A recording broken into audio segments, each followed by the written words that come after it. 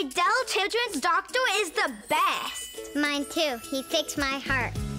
Dell Children's Medical Center has the most pediatric specialties in Central Texas. A bazillion doctors and nurses are all super nice. And the only comprehensive fetal care center in the region. The most advanced neuroscience program for children. Always providing the most advanced, compassionate children's care. Only in Austin. Only at Dell Children's.